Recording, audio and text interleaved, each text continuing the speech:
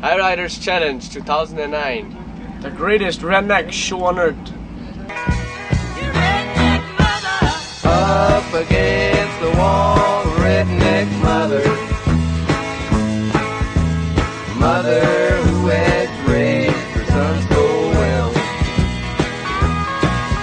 He.